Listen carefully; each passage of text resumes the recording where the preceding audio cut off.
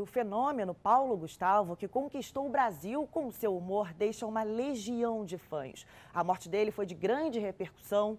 Parentes, amigos e artistas se solidarizaram e prestaram homenagens emocionantes. Paulo Gustavo Amaral Monteiro de Barros, ou apenas Paulo Gustavo. Gente, acabou de enguiçar um ônibus aqui no meio da Quinta Avenida. Entendeu? Isso, isso não acontece só no Rio de Janeiro.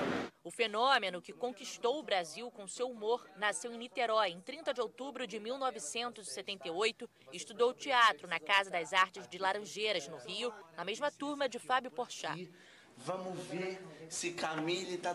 E vamos acordar. O Paulo é a pessoa mais engraçada que eu já vi na minha vida na tela e fora da tela. Ele, ele fazia rir todo mundo que estava na conversa, quem estava fora da conversa. O Paulo é, é, o que o Brasil tem de melhor. Uma pessoa que vem do nada, com todas as dificuldades, e vence pelo talento e chega onde chegou, no coração de cada um no Brasil, desses 210 milhões de habitantes, pelo talento puro, pelo dom único dele. Seja no teatro, televisão ou cinema, Paulo Gustavo sempre foi sinônimo de sucesso de bilheteria. Somados, os três filmes, Minha Mãe é uma Peça, venderam mais de 26 milhões de ingressos entre 2013 e 2020. Paulo marcou minha carreira, eu acho que a gente se ajudou muito. Foi o meu primeiro filme, foi o primeiro filme que ele era protagonista. A gente acreditava que seria um bom filme, que as pessoas iam gostar mas não que virasse esse fenômeno todo. Se tivesse que definir o Paulo Gustavo em uma palavra, para mim, é inteligência.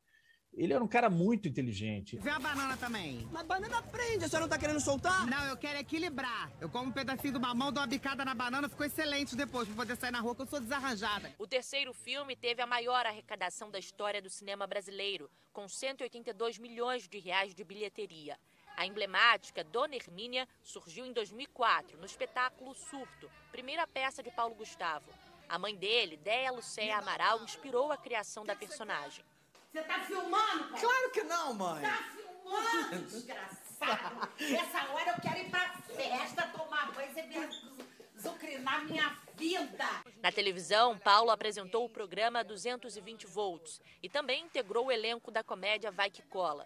Nesse tempo, muitos colegas de trabalho viraram verdadeiros amigos. Incrédulo, incrédulo da gente perder esse cara tão jovem, tão talentoso, tão único, tão raro, tão importante para a cultura, para o humor, tão importante para o cinema brasileiro. Um cara tão apaixonante, tão apaixonado. Obrigado, Paulo Gustavo. Eu amo você.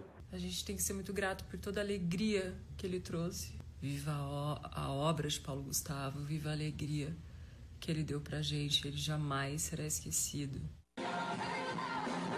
Até mesmo a cantora Beyoncé, de quem Paulo Gustavo era fã, postou uma homenagem a ele em seu site oficial. Paulo Gustavo era casado com o médico Thales Bretas desde 2015.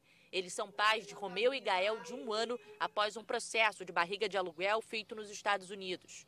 O ator chegou a fechar a agenda de trabalho por seis meses para cuidar dos filhos e costumava compartilhar o cotidiano da família nas redes sociais. Isso, e como é que o elefante faz?